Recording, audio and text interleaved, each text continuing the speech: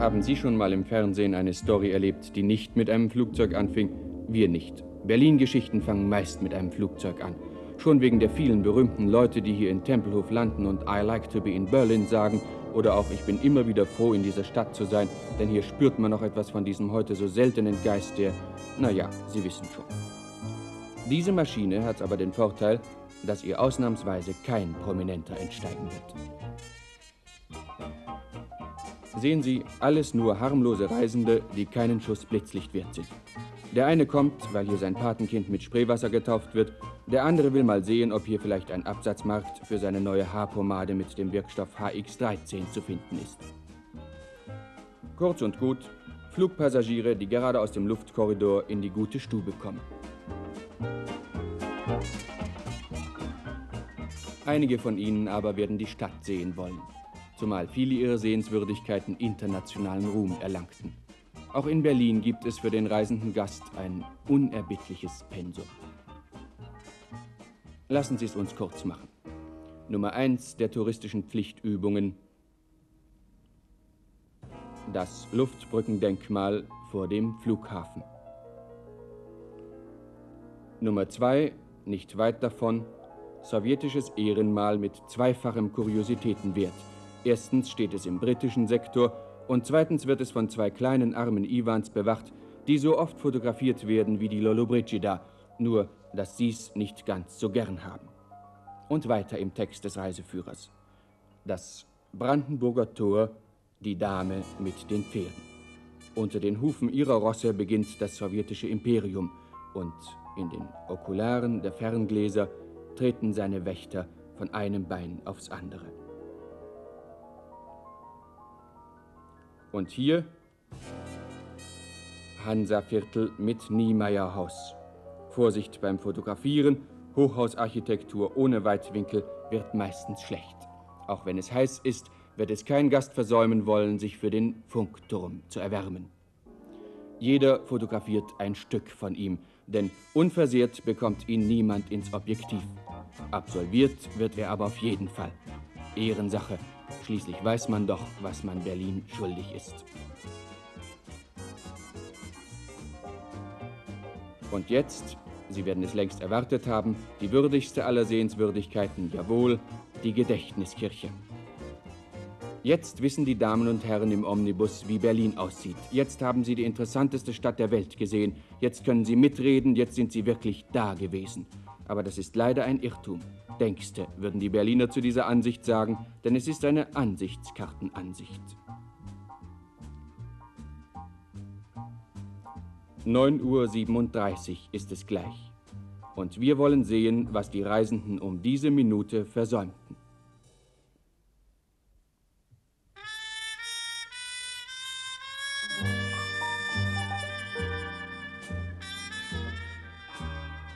Bernauer, Ecke Ackerstraße, Berlin-Wedding.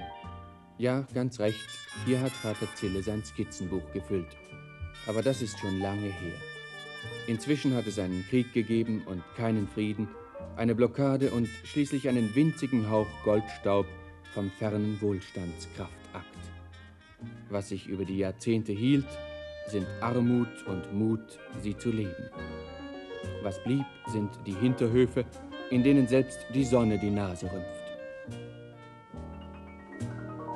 Es ist, als habe ein sentimentaler Kustos darauf bestanden, dass alles unverändert, wenn auch nicht unberührt bleibt.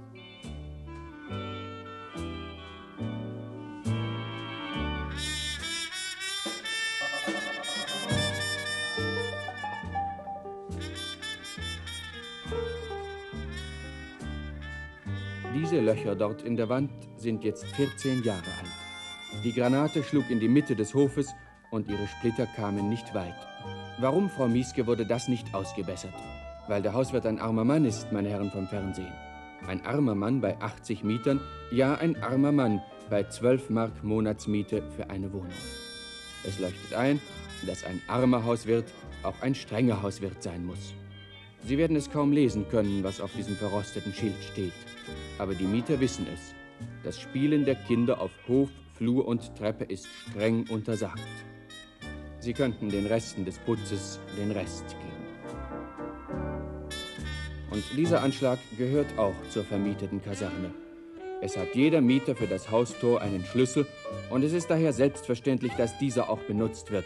Wer trotzdem mit Gewaltanwendung Einlass herbeiführt, gegen den wird mit schärfsten Mitteln vorgegangen. Ja, so ist das hier. Hier spielen die Radios eben laut bei offenem Fenster, obwohl auch das verboten ist. Überhaupt die Fenster. Da lehnen sie hinaus, die viel besungenen Berliner Helden. Und von oben haben sie diesen Blick.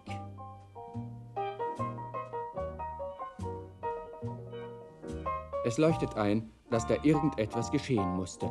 Zum Beispiel sowas. Diese Vögel haben manches auszugleichen.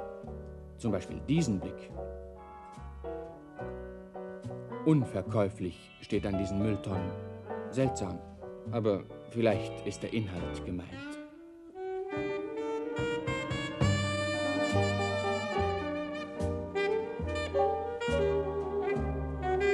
Mülltonnen sehen überall so aus, aber nicht überall ist das gleiche drin. Diese Konservendose hier stammt aus amerikanischen Heeresbeständen. Ergo muss hier ein Weddingmädchen wohnen, das die Zuneigung eines liebenswerten Ami-Beschützers fand. Und das ist eine HO-Tüte. Koexistenz im Müll. Es muss in diesem Haus also jemand eine Tante im Ostsektor haben, die das Kursgefälle zur Kursgefälligkeit macht.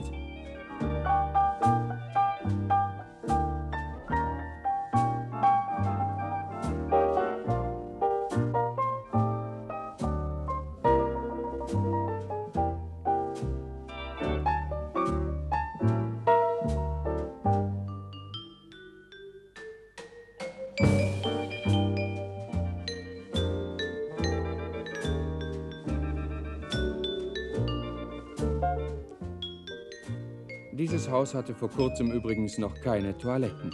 Nun hat es welche. Im Keller.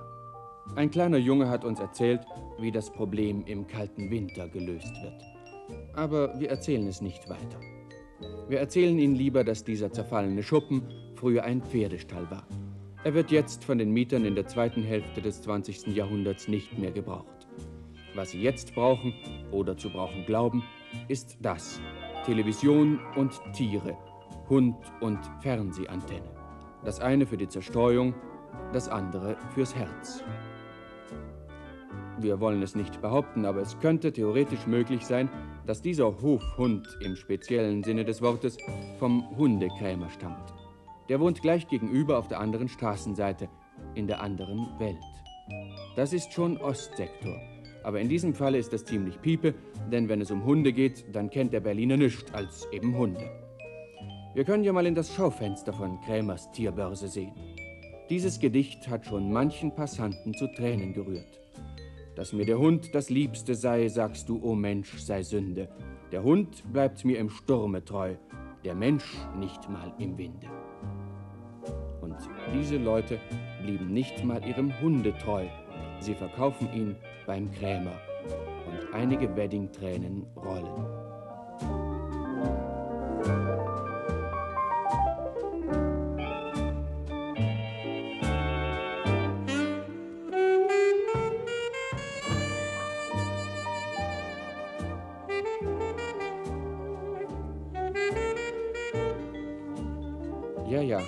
Ist das. Kinder und Hunde.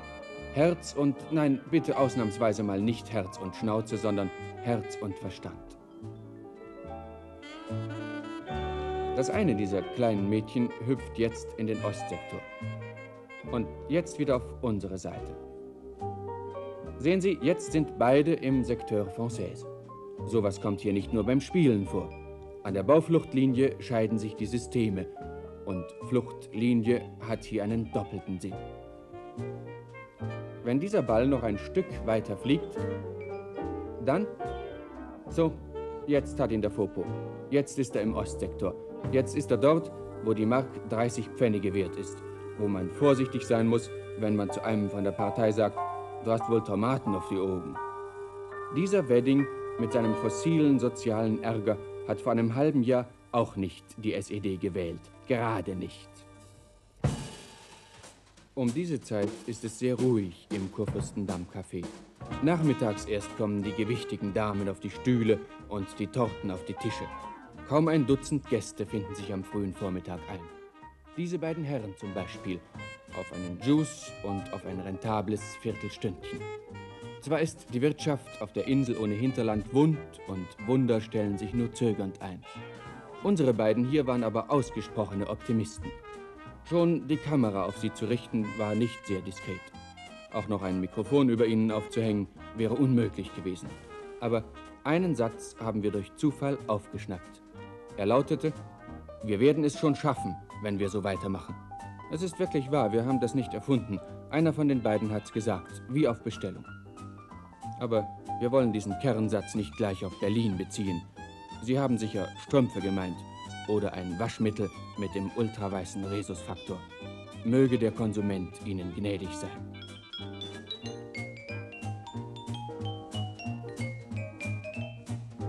Diese Hände gehören, raten Sie bitte, sie gehören einem, haben Sie es? Einem Liebespaar. Wir sind hier zwar nicht an der Seine, sondern an der Spree. Hier wird nicht so ohne weiteres allen Leuten die Liebe entdeckt. Aber merken tut man's doch. Lassen wir sie allein, wie sich's gehört, und schwenken wir dort hinüber. Ein Mannequin, kein Zweifel. Frühstückspause auf dem Boulevard. Oder warten auf die große Chance. Auf die berufliche natürlich.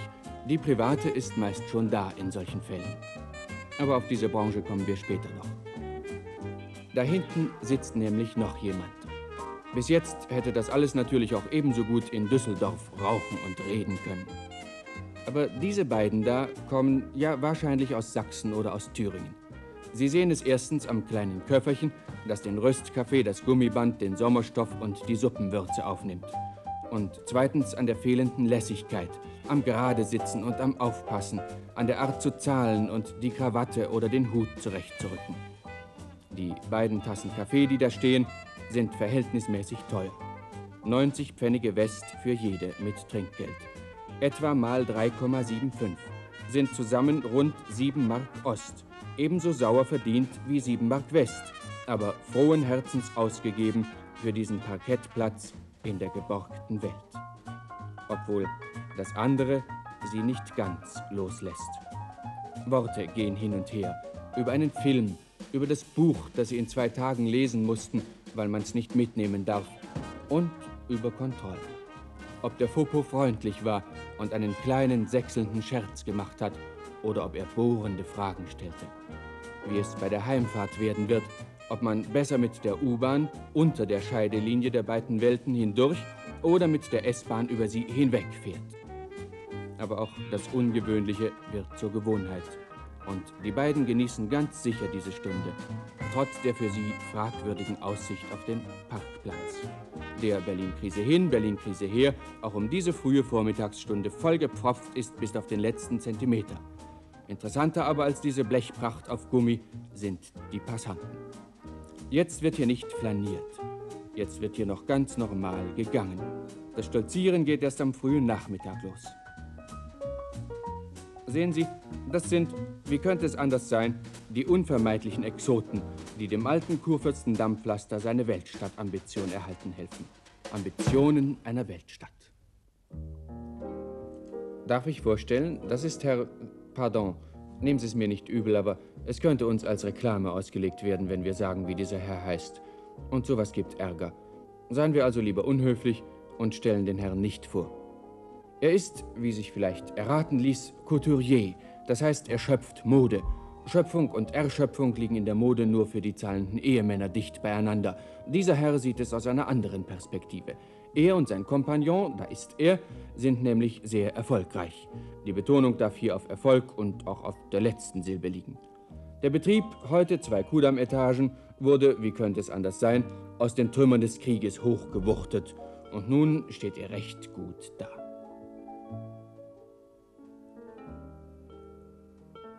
Dass in Berlin die DOB oder auch DOP oder Damenoberbekleidung eine der führenden Branchen ist, das wussten Sie sicher schon. Die DOB gehört, wenn sie auch nicht Alltägliches anstrebt, zum Berliner Alltag. Und in dieser Branche ist Berlin die führende deutsche Stadt. Da ist die erste der Damen. So sieht sie natürlich nur 9.37 Uhr aus. Ihre Metamorphose zum Kleiderstar werden Sie gleich sehen. Zunächst kommt ein Zwischenstadium. Es gehört sich, die nun folgende Phase zu überspringen.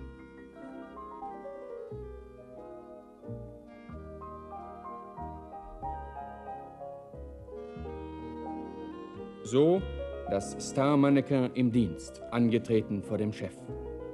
Neulich hatte mal eine junge Dame abgewiesen, die sich für diesen Job bewarb. Sie wollte unbedingt wissen, was denn falsch an ihr sei. Und da hat es ihr gesagt. Sie, sie sehen einfach zu gesund aus, das ist alles. Das hat er uns selber erzählt. Mannequins müssen durchsichtig aussehen, meinte er. Und wenn sie zu jung sind, dann werden sie auf älter hergerichtet, denn dem Kunden muss eine Dame von Welt gegenübertreten. Die Kunden sind meist Detailleure.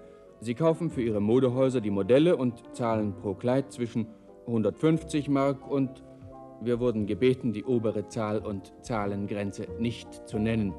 Sie ist vierstellig und zwar sehr.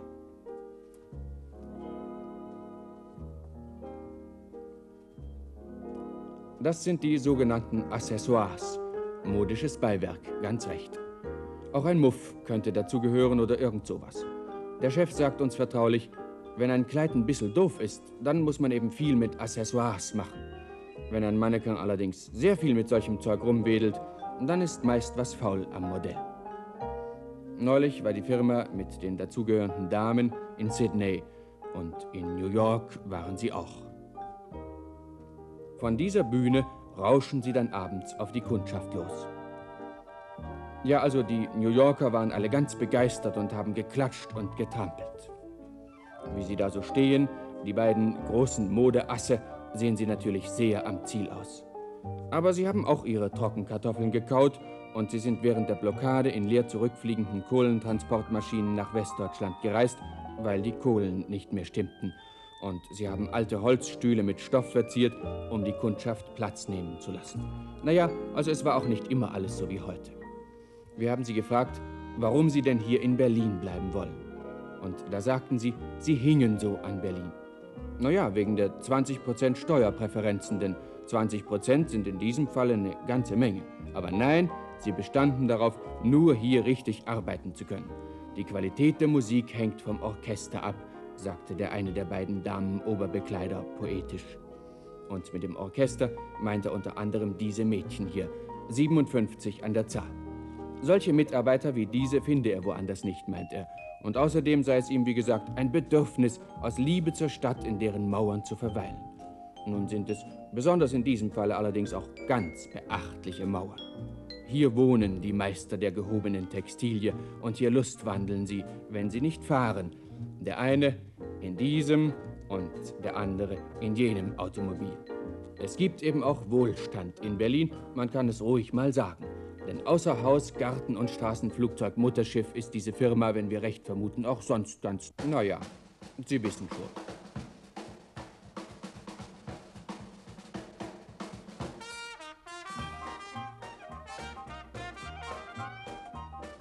Das ist Jim Squatter aus Idaho in Idaho. Die Form seiner Fortbewegung ist in diesem Fall durch die politische Lage bedingt. Er muss üben, die Insel zu verteidigen. Gestern hat er einen Brief an Mam und Daddy geschrieben, in dem stand: It is hard to be a soldier, but Berlin is a wonderful place. Wish you were here, your ever-loving son. Für wen robbt er hier im märkischen Sand, während Mama Squatter in Idaho besorgt die Berichte über die Berlin-Krise liest? Er robbt unter anderem für die Erfolge des Herrn aus der Modebranche, den Sie vorhin kennenlernten. Er robbt für uns alle, würde man am Rednerpult sagen. Und ein klein wenig robbt er natürlich auch für sich selbst und für Mama und Papa. Das gilt selbstverständlich auch für seine Kameraden. Als die Amis von Berlin werden sie in die Geschichte eingehen. Ein paar Kilometer weiter im Ostsektor heißen sie offiziell Ami-Besatzer und werden beschuldigt, unter ihren Stiefeln das Volk von West-Berlin in den Staub zu treten. Hier an Ort und Stelle ist das allerdings schwer möglich, denn die Geknechteten bevorzugen den Platz am Volant.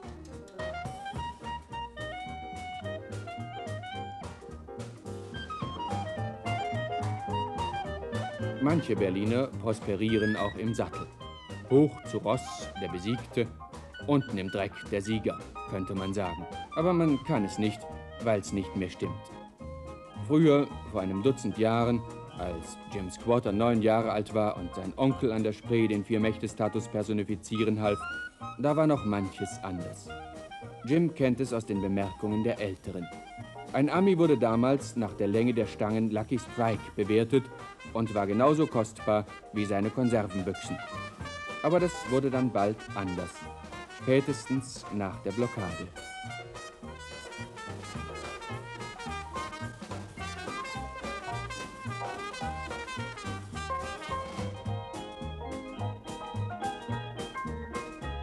Außer hier am Straßenrand treten die Amis wenig in Erscheinung. Nur um die Weihnachtszeit dringt aus den Fenstern ihrer Siedlungen grellbunte Christbaumbeleuchtung zum allgemeinen Schmunzeln der Berliner. Und das ist so ziemlich das Einzige, wodurch sie auffallen. Solche Bilder gibt es natürlich auch in Westdeutschland. Nur mit dem kleinen Unterschied, dass diese Jungs hier strategisch auf einem verdammt miesen Posten stehen. Weniger als 10.000 insgesamt umgeben von einem Imperium hochbewaffneter Ostblock-Soldaten. Okay, Boys, haltet die Ohren steif und grüßt Daddy schön im nächsten Brief. Das tapfere Volk der Berliner rollend. Naja, schließlich können sie ja nicht andauernd auf dem Vorposten der Freiheit Wache schieben und die Fahne hochhalten. Auch Helden brauchen mal einen neuen Liegestuhl oder ein paar Rollen Butterbrotpapier. Wie Sie sehen, geht es hier aufwärts. Aber wir wollen nicht gleich ein Symbol draus machen. Obwohl, also dem hier geht es offenbar noch nicht schnell genug nach oben. Überhitzung der Konjunktur würde das der Bundeswirtschaftsminister nennen. Davon kann natürlich in Berlin nicht die Rede sein, was wiederum nicht heißen soll, dass hier nur die Ärmsten der Armen ein paar Briefumschläge oder einen Salzhering kaufen. Wohlstand schändet nicht und Heldentum muss nicht unbedingt mit Askese verbunden sein. So wie wir heute arbeiten, werden wir morgen leben, sagte eine gewisse Frieda Hock auf, auf der anderen Seite, die ein paar Straßen weiter beginnt. Die SED freute sich darüber sehr, aber die Umkehrung ist auch nicht schlecht. So wie diese Kundin heute ist, wird sie ganz sicher morgen, spätestens übermorgen, arbeiten. Wir hoffen es wenigstens. Aber jemandem beim Essen zuzusehen, ist unfein. Gehen wir.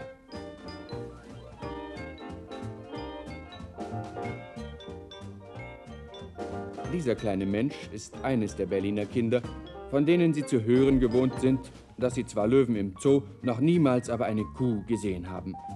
Man soll eben nicht alles ungeprüft glauben. Spätestens jetzt werden Sie, meine Damen und Herren, an den Bildschirmen, falls Sie überhaupt noch dran sitzen, fragen, warum wir das eigentlich zeigen. Kaufhäuser gibt es schließlich überall. Und in den Berliner Warenhäusern geht es auch nicht anders als woanders zu. Verzeihung, aber Sie irren. Sehen Sie diese Dame dort. Sie reiste 126 Kilometer weit mit der Eisenbahn und nun kann sie einkaufen. Und zwar ein Kilo Nägel für 1,50 Mark West mal 3,75 sind 5,65 Mark Ost. Des Weiteren zwei Reißverschlüsse, 10 Meter Schlüpfergummi, 5 Rollen Nähgarn weiß. Und zwei Tafeln Schokolade A90. Die Bundesbürger werden in diesem Falle wirklich neidlos zugeben, dass solche Kuriosa den Westberliner Kaufhäusern vorbehalten sind. Die Ware wird natürlich etwas teurer durch die Unkosten für die Reise und durch den Wechselkurs. Aber das ist nicht zu ändern, von heute auf morgen wenigstens nicht. Absolut unrentabel würde dieser Einkauf allerdings, wenn die Kundin Pech an der Sektorengrenze hätte. Sie beging nämlich einen Verstoß gegen das SED-Gesetz zum Schutze des innerdeutschen Handels. Aber wir drücken ihr natürlich den Daumen. Zumal das die billigste Art ist, an den Alltagssorgen der Brüder und Schwestern jenseits der, Sie wissen schon, teilzunehmen.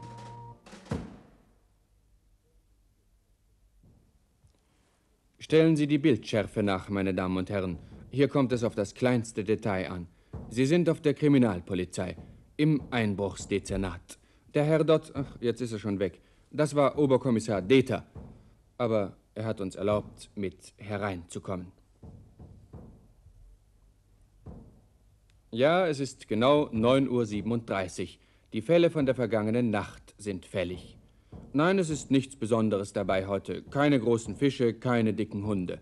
Einbruchsalltag einer, verzeihen Sie das Pathos an dieser Stelle, Weltstadt. Da wäre die Sache aus Steglitz, Geschäftseinbruch. Zwei Ballen Kammgarn der mittleren Preislage. Der Herr wartet schon draußen. Nein, nicht der Bestohlene, der Einbrecher. Er brach nämlich schön ein bei seinem Einbruch. Er verlor seine Brieftasche am Tatort. Nein, das haben wir nicht erfunden, das ist passiert. Und nun lässt der Herr Oberkommissar bitten. Das ist der Pech- und Galgenvogel. Er ist hier nicht mehr ganz neu. Jetzt ist er müde, weil er in der letzten Nacht den Schlaf des Gerechten versäumte, in dem man bekanntlich nicht sündigt. Zigarette bitte.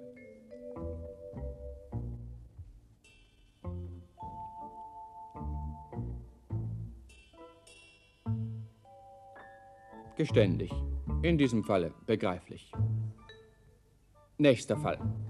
Die oder der Täter dieses zweiten Falles haben vorläufig das Glück, flüchtig zu sein. Man wird sie suchen müssen. Der Herr Oberkommissar tut sein Möglichstes. Das ist zunächst, er schickt ein paar Leute an den Tatort.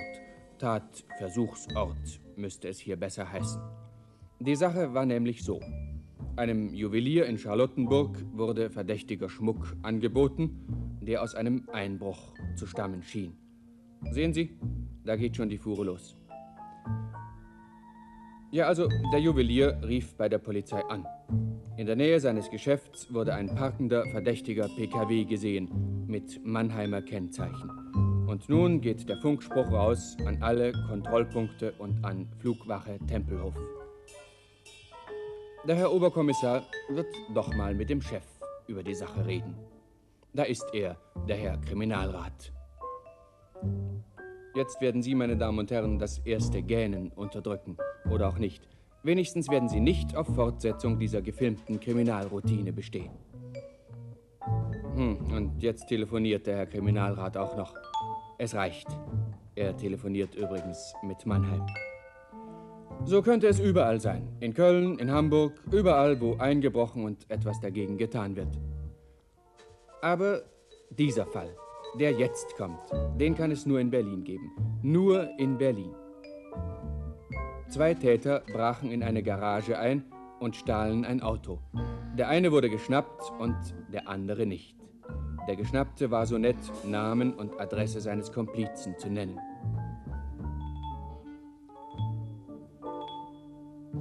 Die Beamten gingen zunächst mal in die Wohnung des Geschnappten und sahen sie sich genau an.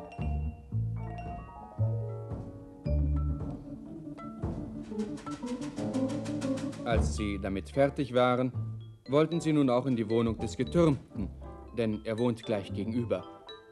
Aber da können sie leider nicht hinein.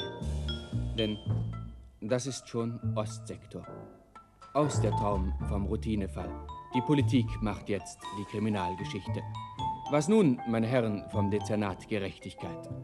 Natürlich Kollaboration, äh, Kooperation mit den Kollegen von der Volkspolizei, die, was immer man gegen sie haben mag, Einbrecher auch nicht schätzen. Man müsste vielleicht, da, der Herr Kriminalrat telefoniert immer noch mit Mannheim. Wenn er fertig ist, würde er vielleicht mal drüben bei der FOPO anrufen. Aber das geht nicht. Jawohl, Sie wissen es, weil das Berliner Telefonnetz geteilt ist. Aber die Sicherheit ist unteilbar, sagt der Herr Oberkommissar. Ganz ohne Kontakte geht's hier nicht.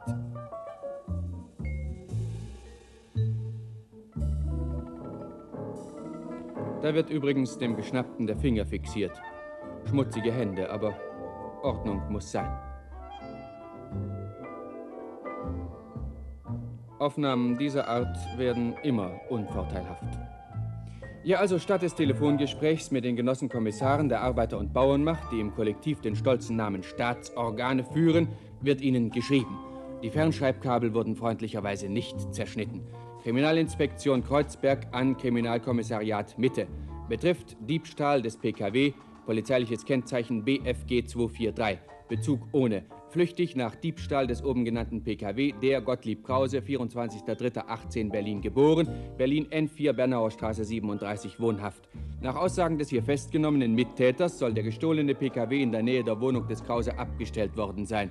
In der Wohnung soll sich zahlreiches weiteres Diebesgut befinden. Sicherstellung des oben genannten PKW und des eventuell vorhandenen Diebesgutes wird erbeten. Sektorentreffen zur Absprache weiterer Maßnahmen wird angeregt.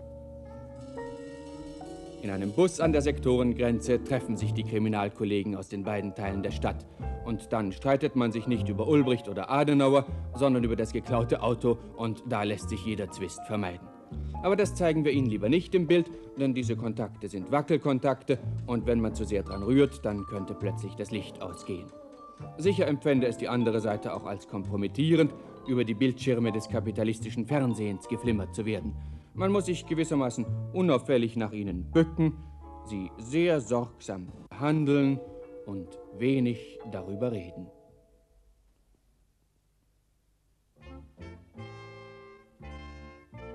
Dort kommt eine Bürgerin der Deutschen Demokratischen Republik. Sie ist soeben dabei, den demokratischen Sektor von Berlin zu verlassen und ihren Fuß auf den Westberliner Sumpf zu setzen, den die SED so gern trockenlegen möchte, damit die Westberliner auf dem Trockenen sitzen. Nur gut, dass die beiden Uniformierten nicht wissen, welchem Ziel die Passantin zustrebt. Sonst würden sie sicher wie aus einem Munde und so verächtlich wie möglich rufen: Scheuerlappengeschwader. Diesen merkwürdigen Begriff kennen die beiden Zerberusse nämlich aus ihren Zeitungen. Wieso und warum, das kommt gleich. Diese Straßenbahnlinie fuhr übrigens früher mal von der Potsdamer Straße durch in die Leipziger Straße, bis die SED eines Tages, naja, das kennen Sie sicher schon, bleiben wir bei der Sache. Unsere Ostberliner Bürgerin ist an ihrem Westberliner Ziel. Und dieses Ziel ist, sehen Sie bitte selbst, Sie ist dabei, den Westberliner Schmutz zu bereinigen. Das hat die SED oft genug verlangt, wenn auch anders gemeint. Im Ostsektor wohnen und in Westberlin reine machen hat gewissermaßen einen dreieinhalbfachen Vorteil. Pro Stunde eine Mark West, die sich in der Wechselstube in 3,75 Mark Ost verwandelt. Ein Lohn also, bei dem Gewerkschaftsführern das Herz im Leibe hüpfen könnte. Der SED hüpft es allerdings vor Zorn den Kapitalisten den Dreck wegräumen, den profitgierigen Wechselstubenschwindlern zu Gewinn verhelfen und illegal ausgeführte D-Mark Ost illegal wieder einführen, das ist mehr als ein souveräner Satellit vertragen kann. Aber schwamm drüber, das Scheuerlappengeschwader fliegt weiter über den großen Graben, denn es ist vom Wetter unabhängig. Das ist Stahl aus West-Berlin. Auf dem Wege vom Stahlblock über das Stahlband zum Stahlrohr. Aber keine Angst, wir erklären Ihnen den technischen Vorgang nicht. Wir suchen hier den Westberliner Arbeiter. In dieser Halle bei Borsig gibt es allerdings nicht allzu viele, denn das Rohrwerk ist vollautomatisch. Der Betrieb wurde von Bomben zerschlagen, von drei Besatzungsmächten nacheinander demontiert. Immerhin waren auf diesem Gelände die Rohre mal Rohre von Maschinengewehren. Das Werk wurde erst vor knapp zehn Jahren wieder freigegeben und heute, wir wollen es kurz und schlicht machen, werden hier wieder gebaut. Dampfkraftanlagen, Dampfkessel, Kernkraftwerke, Luft- und Gaskompressoren, Schiffskraftanlagen und Kälteerzeugungsanlagen. Die Kälte des Kalten Krieges ist damit nicht gemeint. Obwohl hier ist durchaus nicht alles wie anderswo.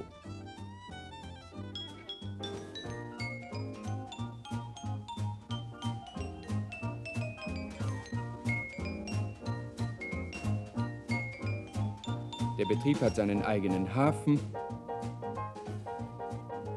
sein eigenes Stahlwerk, seine eigene Geschichte, aber auch seine eigenen Sorgen.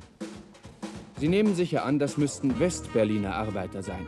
Aber nicht alle sind es. Einige sind darunter, die heißen im Berliner Nachkriegsalltag Grenzgänger. Sie wohnen im Ostsektor, sind also, um in den Worten der SED zu reden, Bürger der Deutschen Demokratischen Republik und arbeiten, weil sie das schon vor der Zerschneidung der Stadt taten, hier, wo jetzt Westsektor ist. Das hat die SED nicht gern und deshalb übt sie einen Druck auf diese Männer aus, die ihrer Ansicht nach der bösen NATO in die Hände arbeiten.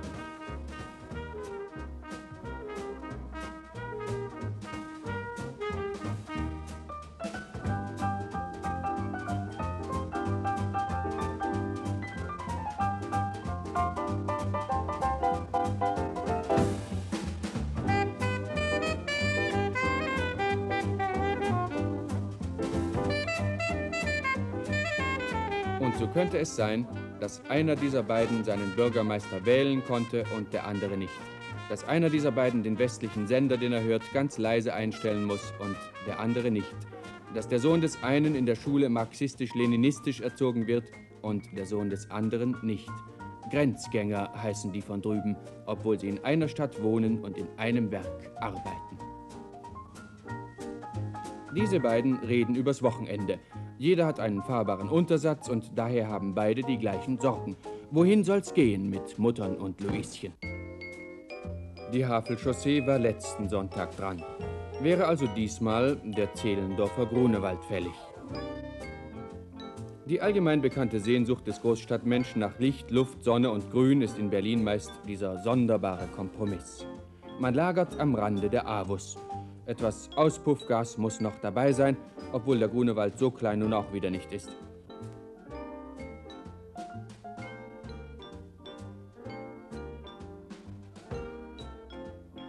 Nein, es ist ebenso. Warum, weiß niemand, am allerwenigsten der Erholungssuchende im Straßengraben. Einsam ist man eben zu alleine und etwas Betrieb muss immer sein. Wer allerdings weiter rausfährt, der kommt doch recht bald ins politische Gedränge. Zum Beispiel so. Solche Schilder kennen Sie natürlich schon, denn sie fehlen nie, wenn heutzutage einer irgendwas von Berlin zeigt. Sieht ja auch sehr dramatisch aus.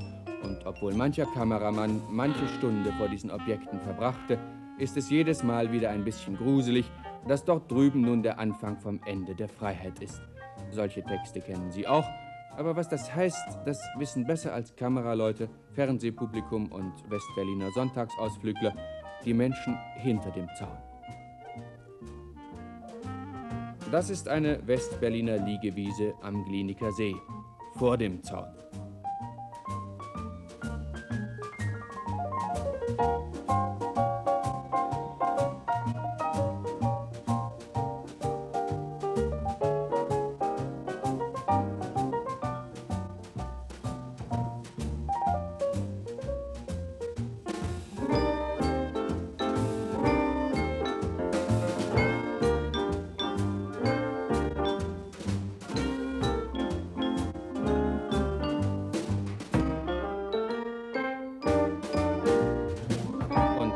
Wasser hier ist freiheitliches Gewässer.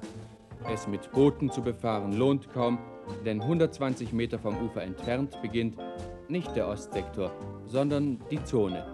Sie ist für Westberliner verbotenes Terrain. Wer etwa über die Bojengrenze hinausschwimmen würde, wäre im Sinne der SED-Gesetze bereits ein Krimineller. Man muss hier Bescheid wissen, um noch vergnügt zu sein.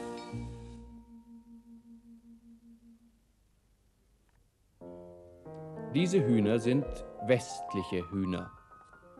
Der Zaun teilt Haus und Hof und daher sind diese Gänse dort Ostgänse.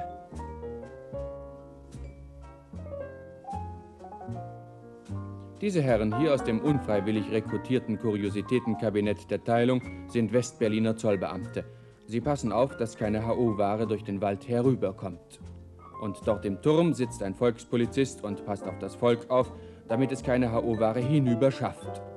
Manchmal kommt einer hinter dem Zaun vor, sagt zum Westberliner Zöllner, Namt und hast du mal eine Zigarette? Aber das kommt selten vor und nur bei Berliner Fopos. Die Importierten aus Sachsen machen sowas Klassenkampfgefährdendes nicht.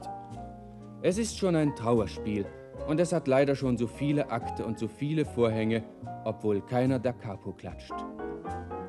Aber wir wollen nicht immer nur das Schlimmste zeigen. Man kann sich in einer Zigarettenpause auch über das Wochenende unterhalten, ohne von der Grenzschilderneurose geschüttelt zu sein. Ausnahmsweise möchten wir auch das servieren. Die Fahrt beginnt, sagen wir, auf der neuen Schnellstraße. Enorm, was?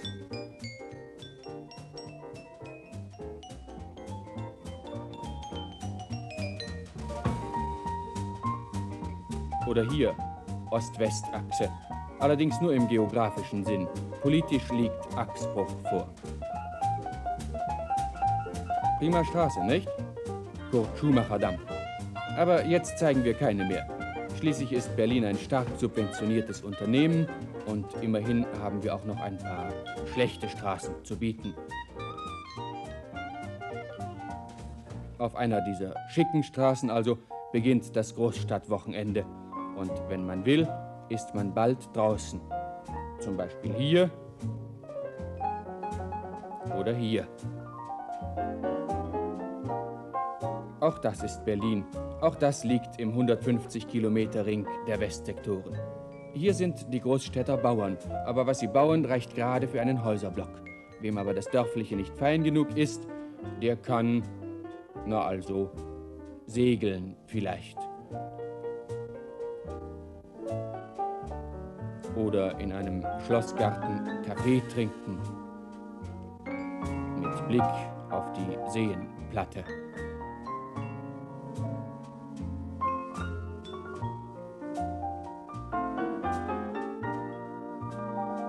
Oder Wildschweine füttern.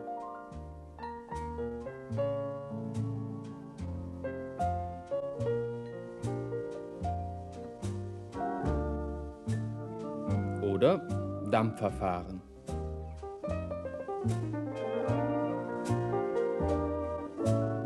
Das alles ist möglich auf der Insel.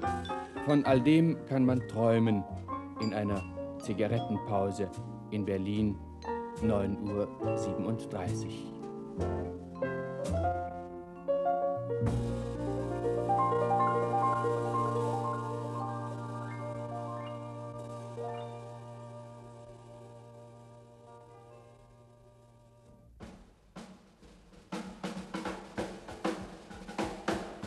Damit verabschieden wir uns von den reisenden Gästen aus dem Omnibus. Sie haben vieles gesehen, aber nicht alles. Sie aber, meine Damen und Herren, sahen, was die eiligen Gäste zu sehen versäumten.